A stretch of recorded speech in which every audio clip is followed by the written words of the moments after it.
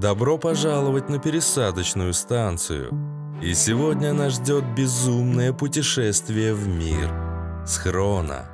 Александр Шишковчук. Схрон. Дневник выживальщика.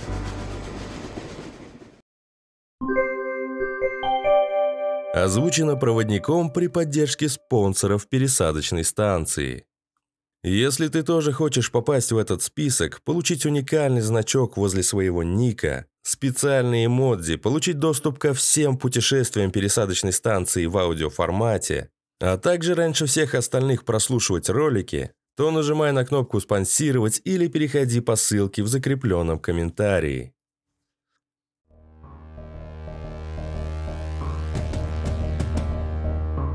В порту среди укутанных в ледяные шубы кораблей, причалов, пристани и подъемных механизмов такси со скрипом остановилось. Несколько солдат прохаживаются туда-сюда. Видать, охраняют все хозяйство. Надо будет как-нибудь наведаться сюда при случае. Наверняка внутри этих посудин полно разных ништяков. «Мы на месте!» – бодро крикнул таксист. «Наконец-то, блин!» За время короткой поездки я узнал, что водилу зовут Витян, а также обширную биографию его, в общем-то, заурядной жизни. С облегчением выбрался из тесной тачки и расстегнул куртку. В классике печка жарит, будь здоров. «Спасибо, Виктор». Юрик залез в карман и вытащил горстку семечек. «Держи вот». «Да вы что? Я ж сказал, бесплатно довезу. Это ж такая честь!» «Любая работа должна быть оплачена, а тебе семью кормить надо. Бери». Кое-как избавились от назойливого водилы. Он понял, что нам некогда только когда я передернул затвор сайги. «Жестко ты прикололся над ним, Юра», — сказал я, закидывая за спину гранатометы. «Почему?» «Семью накормить щепоткой семок?»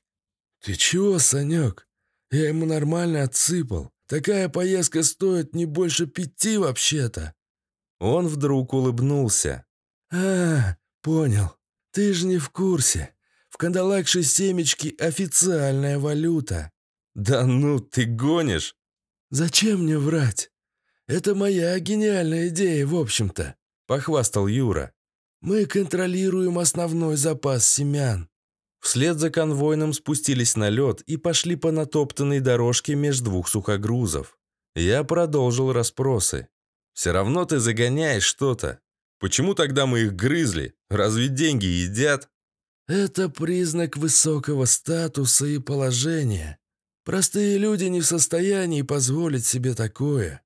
«А я могу, ну, чисто теоретически, вырастить у себя, ну, несколько подсолнухов. «Теоретически, разумеется. Но, как ты видишь, на дворе ядерная зима. Это во-первых. А во-вторых, незаконное производство денег запрещено приказом полковника Уайта. Нарушителя ждет арена жести». Глаза Юрика холодно блеснули. «Понятно», — хмыкнул я. «Хитро придумано». «И это вторая сторона проблемы с сектантами», — вздохнул Юрик. Большой неподконтрольный нам центр эмиссии. Веганы подрывают экономическое процветание нашего общества своими вбросами ничем не обеспеченных семечек. Так что твоя основная задача, помимо уничтожения их главаря, сжечь все посевы подсолнухов. Ты понял, Санек? Чего ж тут непонятного? Опять все упирается в бабло. Отлично. Мы, кстати, пришли. Мое неравнодушное к приключениям сердце радостно встрепенулось, когда увидел средства заброски. Мото, мать его, дельтаплан! Клево, летать я люблю. Треугольное крыло, под ним движок с пропеллером, две сидушки на металлической раме и три пластиковые лыжи в качестве шасси. Покруче моего параплана, хоть бежать на взлете не надо. Пилот, завидев нас, включил мотор, который приятно застрекотал, отогреваясь на холостых оборотах. «Знакомься, Саня, это Филипп, в прошлом начальник местного аэроклуба, теперь глава нашей воздушной разведки». «Привет десанту!» Филипп снял пухлую ветрозащитную варежку и пожал руку. Его широкие щеки смешно торчат из-под балаклавы. «Классный аппарат!» – восхищенно сказал я. «Сам собирал по чертежам из техники молодежи», – ответил пилот, надевая круглый мотоциклетный шлем с наклейкой Star Wars. «Полчаса, и будем на точке». «Я и сам авиации не чужд», – признался я. «На параплане летал». «Молоток, парень, только ваши тряпколеты, шляп полная. Сложится в полете и хана», – хохотнул летун. «Но у меня тряпка как сложится, так и разложится», – решил поспорить я. «А на дельте, если какой тросик порвется, у тебя ж даже запаски нет». «Ничего не порвется, я за техникой слежу», – насупил брови Филипп и надел большие горнолыжные очки. «Надеюсь, не заблюешь мне тут все, когда полетим, умник?» «Скорее нет, чем да». «Хватит спорить», – вмешался Юрик. «Времени мало. Скоро у веганов вечернее песнопение. Филипп высадит тебя на просеке в километре от их поселка. Сделаешь дело и сразу назад. Фили тебя дождется и привезет обратно. Как видишь, задача элементарная». «Нет», — сказал я. «В смысле?» «План говно». «В смысле?» — повторил Юра. «Отказываешься, значит?» «Да он просто высоты боится», — засмеялся Филипп. Видно ж, поджилки трясутся!» Объясняю для непонятливых. Я недобро взглянул на полярного летчика. Эта ржавая телега будет так тарахтеть в полете, что все воинство Будды, Кришны или хер еще знает кого услышит нас за много километров. Как ты думаешь, Юра, они будут медитировать на цветочки или похватают свои гребаные пулеметы и устроят мне горячий, блядь, прием? Филя захлопал глазами, уставившись на Юрика. Тот размышлял, судя по сосредоточенному лицу. «Да, как-то мы не учли этот момент», — сказал он наконец. «А ты чем думал, Филипп?» «А тю я-то сразу. Мне не платят за то, что я думаю. Прилетел, улетел, сами же сказали». Юрик поднял руку, чтобы тот заткнулся. «Твои предложения, Санек». «Найдите парашют, желательно управляемый. Полетим с набором высоты до 4000 километров». «Эй, что за бред? Там же дубак, мы же укулеем!» – закричал Филипп. «Умолкни, Филя!» – прошипел Юрик и кивнул мне. «Продолжай». Короче, за десяток километров до точки глушим мотор и планируем в тишине. Сейчас облачность, козлы нас не увидят и не услышат. Когда будем над ними, высоты останется 2-3 штуки, я спрыгну. А Дельтик пусть садится на просеку заглушенным движком и ждет меня. Юрик повернулся к пилоту. «Что скажешь? Реально?» «Ну, в принципе, реально. Чего нереально-то?» Пожал он толстыми плечами. «А ты сумеешь, Санек? Есть опыт прыжков?» «Конечно», — соврал я. С парашютом я не прыгал, но всегда мечтал и смотрел много роликов на ютубе, так что принцип был понятен. «Окей. У полковника должны быть парашюты в загашнике». Юрик махнул рукой ближайшему солдафону. «Эй, ты! Дуй в штаб и раздобудь парашют! Немедленно! Бегом, марш!» Пиндос козырнул и улетел прочь. «Покурим пока, что ли?» Через несколько минут Филипп затоптал бычок, гаденько заулыбался и сказал. «А ведь не получится ничего из затеи этой. Дурацкая затея-то!» Моя рука рефлекторно легла на рукоять револьвера. «Поясни», — велел Юрик. «Как я вам на точку выйду, если над облаками пойдем? У меня в задницу GPS не встроен, да и не работают они больше». «Не ссать!» — усмехнулся я, выпуская облако дыма. «У меня компас есть. Какая скорость аппарата?» «Крейсерская. Ну, где-то 100 км». Скорость известна, снос ветра учтем после взлета, азимут возьмем. Не должны промахнуться, полчаса всего пилить. Юрик взглянул на меня уважительно. Филя ничего не сказал, только отвернулся и стал сердито смотреть вдаль на застывшее море. Вскоре доставили парашют. Я быстро разобрался с лямками и нацепил ранец. Зашибись. Только оружие пришлось повесить спереди. Это мешало, конечно, но не сильно. От предложенного шлема отказался. Мне нужно будет резко вертеть головой. Лишь натянул свою ветрозащитную маску. Подвязал шапку под волевым подбородком, чтобы она не слетела и не попала в винт. Надел снегоходные очки. Затем, достав из кармана компас выживальщика, повесил его на шею. Мы уселись в креслице. Филипп спереди, я сзади. Пристегиваться не стал, чтобы потом не заморачиваться с ремнями перед выброской. Пилот вопросительно обернулся ко мне, мол, готов. Я хлопнул его по шлему, типа «поехали». За моей спиной, когда исторический зверь, взревел мотор. Погнали. Загремели лыжами по укатанному снегу, начался разгон. Когда ветер шаловливо засвистел в ушах, Филипп резко выдал от себя планку трапецию, и неуклюжая птичка взмыла в воздух. Набрав метров сто, он заложил широкий вираж над бухтой. Снизу машет рукой Юрик. Крепко ухватившись за раму, я помахал в ответ. Полюбовавшись на стремительно уходящий ночной город, достал компас и засек направление. Летим немного не туда. Я постучал кулаком по шлему пилота. «Ну чего?» — крикнул он, сбросив газ для слышимости. «Давай чуть левее, не туда идем!» «Ты мне, блядь, по коске не стучи! Рукой показывай!» «Ладно, давай полный газ, надо набрать высоты». Вскоре местность полностью скрылась в тумане облачного слоя. Серость и мгла окутала нас. Я смотрел на фосфорные стрелки компаса и слегка корректировал направление, а Филипп следил за высотой и оборотами. Мы шли на максимальных. Сильно закладывало уши, слегка потряхивало в турбулентности, но это мелочи по сравнению с тем, что мне предстоит. Когда же кончатся эти долбанные облака? Вдруг, как по заказу, стало светло. Мы вынырнули. Я покрутил головой. Лепота. Луна сияет, как галогеновый прожектор. Над нами клубится серебряный океан облаков. Показал Филе большой палец и похлопал по плечу одобрительно. Тот кивнул в ответ, осматриваясь по сторонам.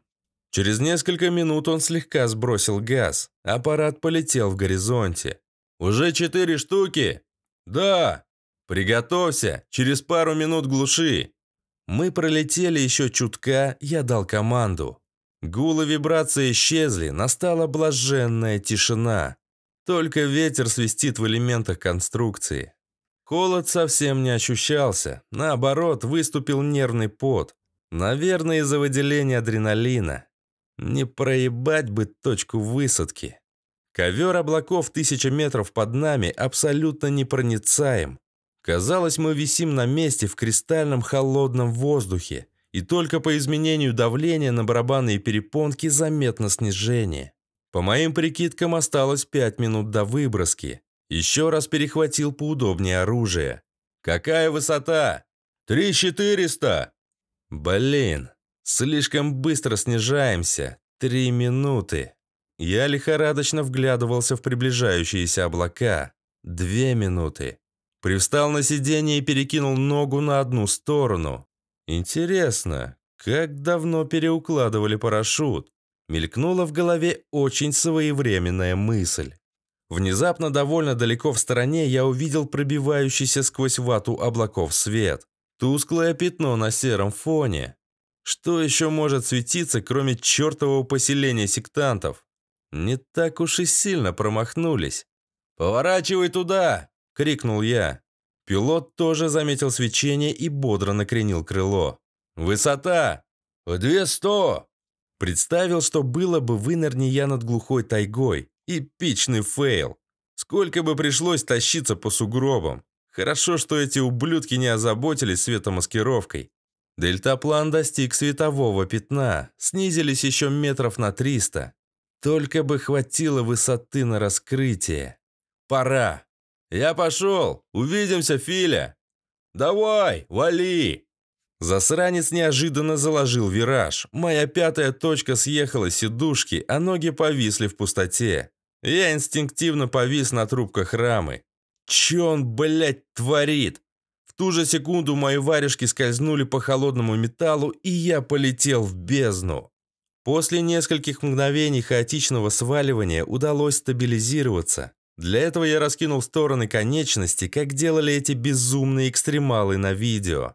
Оружие трепыхает воздушным потоком, сайга яростно лупит по яйцам, а приклад одного из гранатометов по лицу.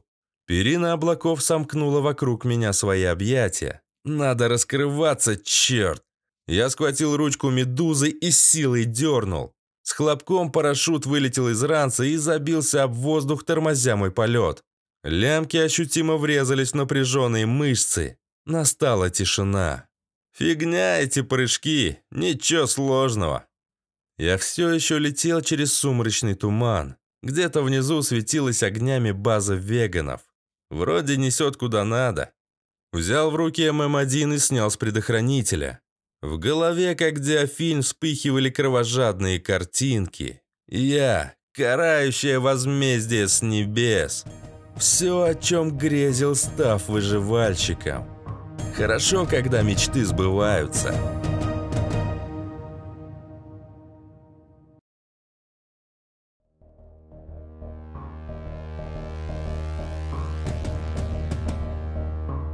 Промозглые облака расступились, как занавес Большого театра, где я, конечно же, никогда не был. Монотонный бег моего идеального пульса на секунду сбился и замолотил с удвоенной силой. Никогда не видел такой красоты. Даже опустил дуло смертоносного гранатомета, забыв про врагов, убийства, задание. Я парил в километре над землей, и волшебный свет играл зеленоватыми бликами в фильтрах очков. Словно заглянул в давно забытую сказку. Как чудесный портал среди сопок, раздвинув холод и мрак, Изумрудной кляксой осколком утерянного лета дремлет поселок веганов и сыроедов. Прямоугольники, квадраты, купола стеклянных оранжерей, теплицы парников, наполнены буйной зеленью и сиянием специальных ламп. По дорожкам среди кустов и деревьев гуляют люди, резвятся дети. Возле небольшого прудика загорают прикольные красотки. Все это я разглядел через оптический прицел от Баррета, который стырил в оружейке пиндосцев. Нет, я не могу разрушить хрупкий прекрасный мир. В глазах защипало от тоски, но я сразу же унял недостойное чувство. Ладно, свадьба с тамадой и плясками подождет. Будем действовать скрытно и незаметно, но дерзко, как ниндзя скользкий и опасный. Найду главаря, когда все заснут, ликвидирую и свалю. Наметил здание широкой плоской крышей для посадки. Идеально. Внутри периметра, вдали от ветряков с гипотетическими снайперами. Они ведь не ожидают ничего подозрительного в поселении, верно? И уж точно вряд ли мониторят небосклон. До приземления осталось каких-то 300-400 метров, когда сверху раздалось знакомое жужжание. Черт! Филипп! Зачем этот придурок включил двигатель? Побоялся на заглушенном садиться? Без труда отыскал взглядом треугольничек в ночном небе. Снижается чуть в стороне, за пределами поселка. Почему никому нельзя доверить даже самое простое дело? Исполнители, подчиненные, соратники или коллеги всегда найдется мудак, который изговняет любое начинание. Блин, сейчас мирное гнездышко превратится в обозленный, растревоженный улей, полный ненавистью и кусачими пчелами. Внизу взбурлила суета, я увидел вспышки выстрелов. А ведь точно, на ветряках кто-то есть. Попадут, не попадут, неважно. Если не догадается лететь на базу, на месте посадки, на просеке, кришнаиты устроят летчику Чкалову настоящие макатуки, Внезапная, как диарея, огненная стрела хищно устремилась вверх. «ПЗРК, блин! Уклоняйся, Филипп!» Хотел закричать я. Но через миг ржавый дельтаплан красиво взорвался. Видать, попали в бензобак. Горящие обломки, кружась как осенние листья, медленно опускались с небес. Эх, Филипп, ну как вот так вот тоже, а? Зато вся свора сейчас устремилась туда. Хоть на этом спасибо. Я благополучно приземлился в мягкий снег на крыше, быстро отцепил парашют, стремительно перекатился и пригнулся за вент-шахтой. Теплый пар, бьющий из отдушины, отдавал дерьмом. Фу, блин, каналья что ли? Отполз в сторону, пошарил взглядом. Вот будка, выход на крышу. Повезло, что не заперто. У меня не было даже монтировки. Не стрелять же из гранатомета. Потихоньку спустился по лесенке на тех этаж. Вроде никого. Оружие, сука, цепляется за все подряд. Это немного мешает. Я сейчас как герой всяких долбанных шутеров. Таскаюсь целым арсеналом. Хотя, что жаловаться? Нехилая огневая мощь дает плюс 100 очков к отваге и уверенности. Итак, первую часть операции выполнил. Я на территории врага и до сих пор не замечен. Теперь надо дождаться, когда кришнаиты угомонятся, и отыскать белого брахму. Но как, блин, его найти? На этот счет вроде никаких указаний не давалось. Он ведь гуру здешних обитателей, значит, наверняка живет в каком-то своем храме. Хрен знает. Мой цепкий взор не различил ничего такого во время полета. Ладно, поймаю какого-нибудь местного веганчика, применю физическое насилие, он и отведет куда надо. Наметив все несложный план, я немного расслабился, включил налобный фонарик и осмотрелся. Нормально, можно и потусить здесь пару-тройку часов. Побродил немного по темному помещению, стараясь не скрипеть деревянными перекрытиями. Наконец подыскал местечко, не засратое чертовыми голубями. Скинул оружие, расстегнул броник и с удовольствием уселся, вытянув натруженные ноги. Ну и скукотища, блин. Надо было хоть какую-нибудь книжку взять почитать. Ох уж эти спецоперации. От нечего делать достал из разгрузки кусок копченой колбасы и фляжку. Не пропадать же добру. Посмотрим, что за коньяк налил мне Юрик от щедрот полковника Уайта. Отвинтил крышку, понюхал. Ништяк, клопами вроде не разит.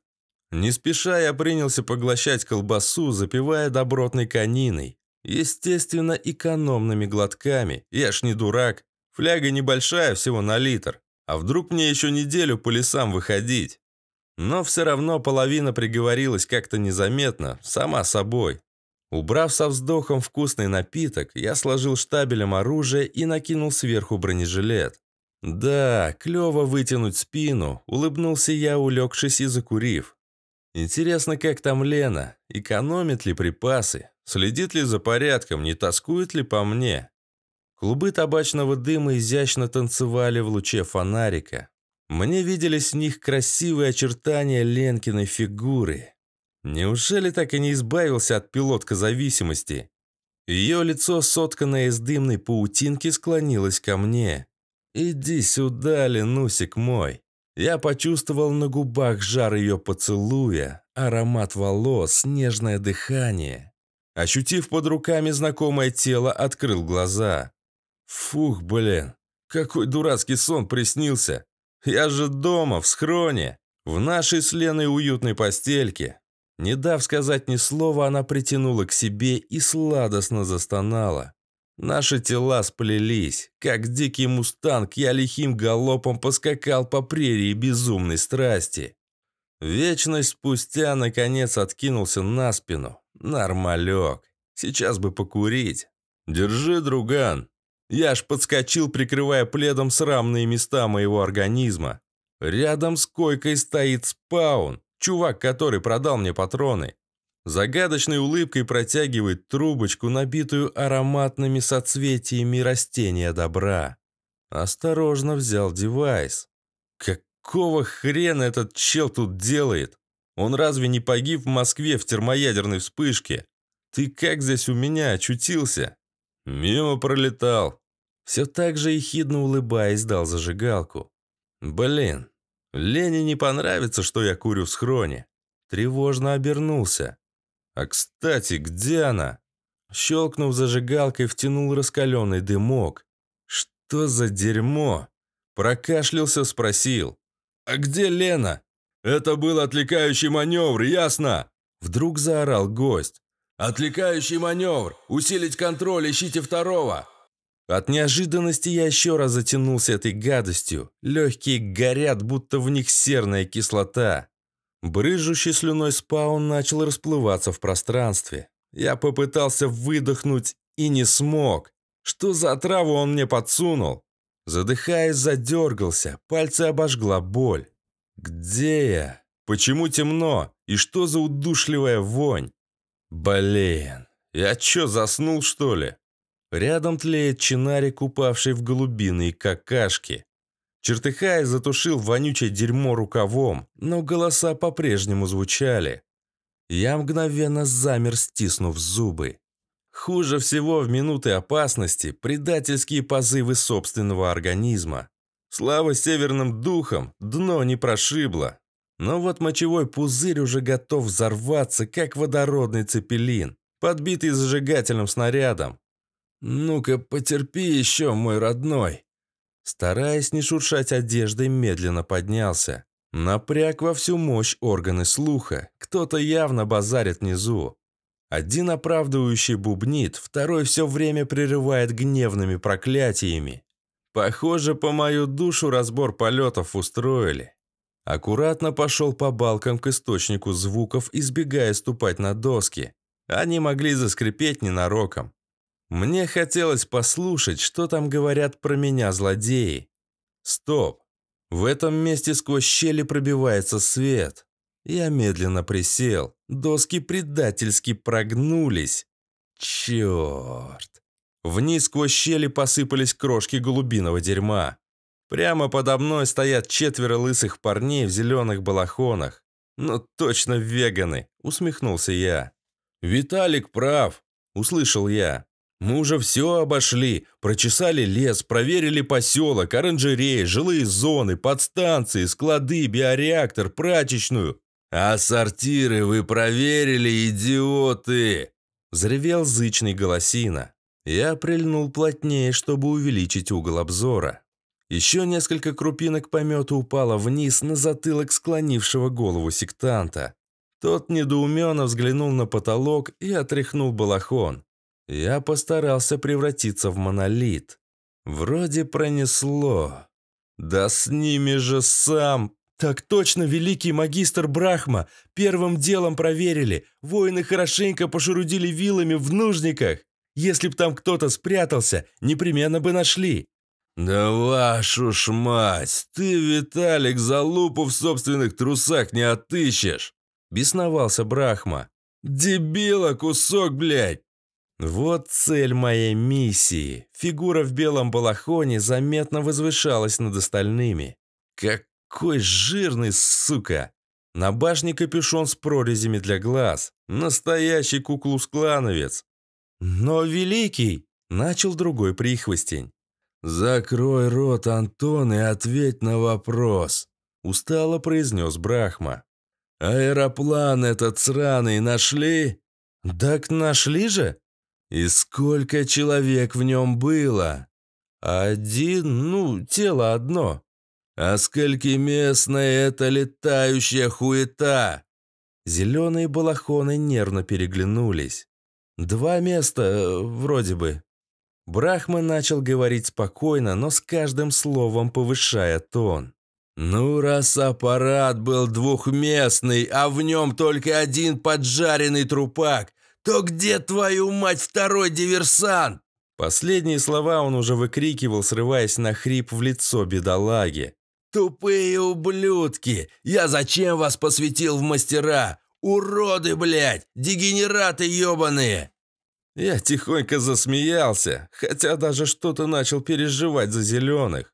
«Найдите мне его бездари! Сегодня, сейчас!» Или вы все будете дерьмо за свиньями убирать до конца дней?» Мне уже стало тяжело сдерживать смех. От спазмов сдавило мочевой пузырь. Лихорадочно осмотрелся в поисках подходящей посудины. Будет стрёмно для такого героя, как я, обоссаться в штаны. Но ничего подходящего вблизи не наблюдается. Уже не до осторожности. Поднявшись, начал стремительно расстегивать многочисленные застежки тактических штанов. Только бы успеть, только бы успеть, только бы успеть! Есть контакт. Добрался. Остатки разума и смекалка меня, конечно, не покидали ни в каких ситуациях, поэтому направил поток на ближайшую стенку. Чтоб потише журчать. Ну и не выдать себя горячим душем на бритые головы противников мясоедства. «Можно сказать, великий Брахма!» Неуверенным голоском обратился другой послушник. «Говори, Кеша!» «Только одно место еще не обыскали». «Какое? Говори, ну!» «Вашу резиденцию, этот дворец, великий». Услыхав это, я весь похолодел. Предательский поток и не думал заканчиваться. Это все с коньяка, блин. «Что ты несешь? Откуда ему здесь взяться?» А может, он выпрыгнул из дельтаплана и приземлился на парашюте прямо на крышу? «Какой, блин, догадливый этот Кеша!» – поразился я. «Слыхали? Вы почему еще здесь, тупизни? Бегом людей сюда и обыщите все!» «А ты соображаешь, Иннокентий! Держи семок, заряженной силой Брахмы!» «Спасибо, Великий!» «Эй, смотрите, что это течет по стене?» «Крыша протекла, может». «Это у тебя крыша течет, Виталик. На дворе зима вообще-то». «А голуби разве не могут так гадить?» «Да что-то не похоже». «Фу, блин!» «Что?» «На вкус как моча!» «Откуда ты, Виталик, знаешь, какая на вкус моча?» «Идите в жопу!» В этот самый момент я панически застегивал портки. Плевать на тишину. Все оружие осталось на другом краю чердака. Быстрым рывком точно успею добраться, а там уж поглядим, кто кого. Я прыгнул, но от нагрузки и мощи моей нехилой массы старые доски треснули. С кучей обломков в облаке пыли и голубиного гуана я рухнул посреди охреневшей компании.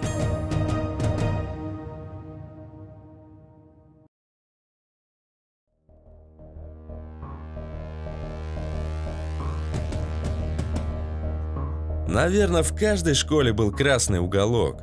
Кроваво-алые стяги, обшарпанные пионерские горны, буденовские барабаны, значки с пятиконечной звездой, бюст Ленина, расшитый золотистой вязью вымпел и колосящий герб.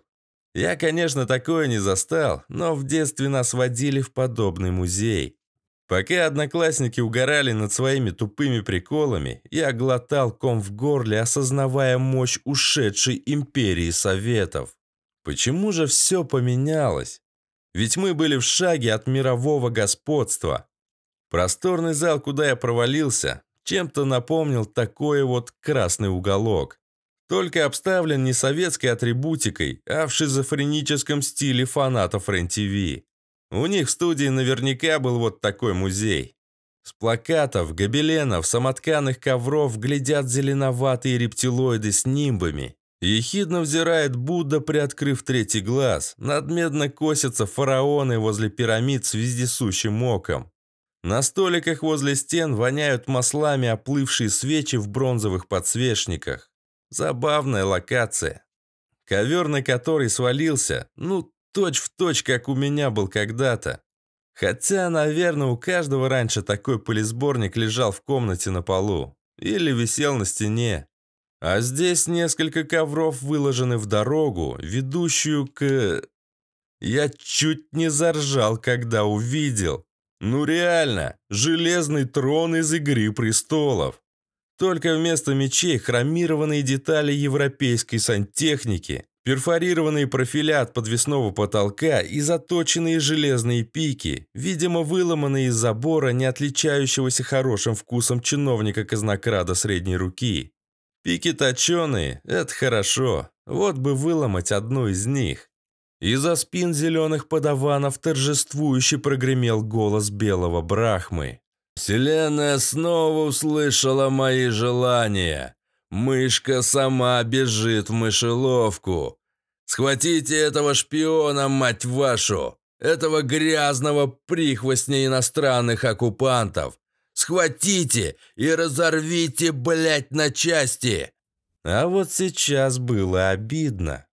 Ухмыляясь, поднялся, расправил могучие плечи, выпятил мускулистый торс и отряхнул с рукавов мусор и грязь.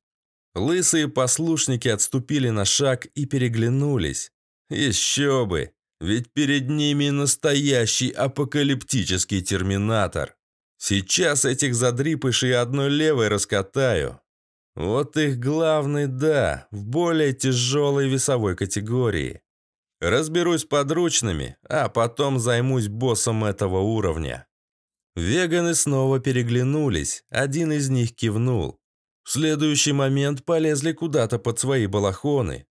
Я-то думал, вытащит огнестрел и уже приготовился уворачиваться. Или на худой конец ножи с нунчаками. Но каждый сектант достал по горстке семечек. Надменно глядя на меня, они закинули по несколько штук. И когда сплюнули на ковер черно-белую шелуху, глаза их зажглись безумным яростным блеском. Не говоря ни слова, все четверо разом бросились на меня. Удары посыпались, как плотный метеоритный дождь. Рожу я прикрыл, но тут один пробил серию в корпус. Спас мощный пресс. Легнул ногой дерзкого нахала. Не попал. Тот с проворством кобры перекатился в сторону. Пропускаю слева. Ах ты, сука! Но мой увесистый, словно молот кулак, вспорол в воздух. Снова удар. Успел поймать руку противника в захват. Гаденыш не растерялся, когда я треснул лбом в его фейс. Наоборот. Ловко извернувшись, закинул мне на шею свои тощие ноги. Я начал задыхаться в крепкой хватке и напряг мускулы, чувствуя, как затрещали кости его руки. Тут же сразу две подсечки с грохотом опрокинули на пол. Удушье ослабло, я отшвырнул тушку врага в сторону. Кувырком ушел от чьих-то ног, обутых в крепкие говнодавы. Какие проворные твари! Не вставая, дернул за край ковра, опустил волну. Гребаные Джеки Чаны попадали, яростно зачихав от пыли. В эту секунду чуть не пропустил смертельный снаряд. Мимо башни пролетел гудящий огненный шар. Вспыхнула красивая вышивка с рептилоидом на стене. Белый брахма уже поджигает от свечей какую-то пропитанную маслом дрянь. Черт, голыми руками тяжело придется. С револьвером все было бы куда проще, но верный ствол сейчас сиротливо пылится на чердаке. Кляня себя за эту опрометчивость, прыжком леопарда бросился к ближайшему столику. Там, где только что стоял, полыхнул очередной фаербол. Это уже начинает выбешивать. Взял со стола увесистый подсвечник. Снова, как стервятники, налетели ускоренные ублюдки. Первого сшибаю прямо в полете ударом канделябра в лысую башню. Выпады второго парирую своим орудием. Тот своем отскакивает, сжимая разбитые кулаки. Третьего ушатываю, перекидывая через плечо. Сзади с треском рассыпается столик. Телом четвертого засранца прикрываюсь от очередного пылающего шара. Вонь горящих тряпок и пережаренного мяса. Чижик забился в моих стальных руках. Милостливо свернул шейные позвонки, прервав ненужные мучения. Из обломков мебели, как черти, выпрыгнули изрядно помятые противники. Я закрутил красивую мельницу канделябром и слегка кивнул. «Давайте, мол, идите сюда, раз не хватило звездюлей». Но сектанты тоже стали умней. Схватив по ножке от стола, начали выписывать немыслимые кренделя. Один даже забацал сальтуху. Вновь закрутилась яростная пляска. Выгибаясь в хитроумных пируэтах, бью, уклоняюсь, парирую удары дубовых ножек и коварные вертухи. Во все стороны летят щепки, капли пота, осколки зубов, не моих, кровавые брызги. Но все равно натиск просто чудовищный. Отступил, смещаясь к центру. Хорошо, фейерболы больше не прилетают. То ли Брахма сыт попасть своих, то ли не знает, что еще поджечь. Когда меня оттеснили к трону, он вообще сбрызнул на другой конец зала. Я оббежал сооружение, спрятался от дубинки за спинкой железного трона, параллельно пнул в живот психа с другой стороны. Третий гад прыгнул на трон, хотел перескочить сверху, но я качнул всю эту хрень от себя. Говнюк потерял равновесие и насадился на острие. Поднатужившись, выдернул другую пику. Длинная, метра два. Воздух грозно загудел, когда я словно боевой ударный вертолет раскрутил над головой новое оружие.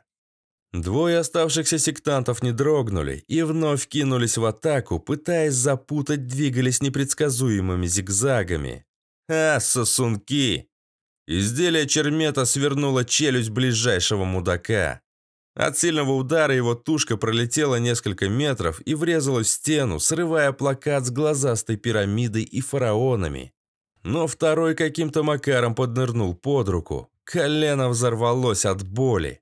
Чувак повис на моей руке с прутком. Дал в ухо. Не отпускает. Еще раз, на! Но он провел подсечку, мы покатились. Я старался дотянуться до горла, этот до моих глаз.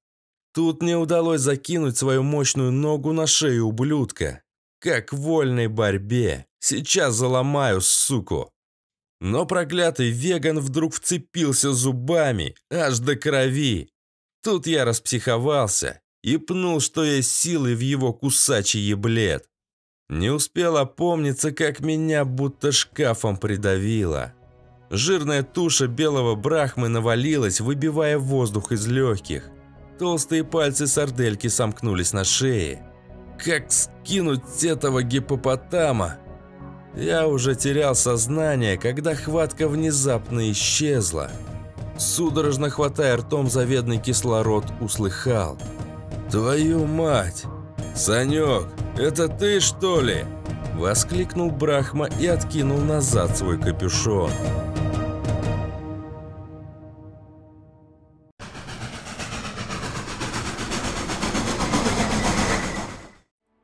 С возвращением в реальность. Если вам понравилось наше безумное путешествие, то обязательно поставьте лайк, напишите комментарий и поделитесь этим видео в социальных сетях. Ну а если вы хотите отправиться дальше, то просто выберите одну из иконок на экране. И как всегда, до встречи в следующих мирах.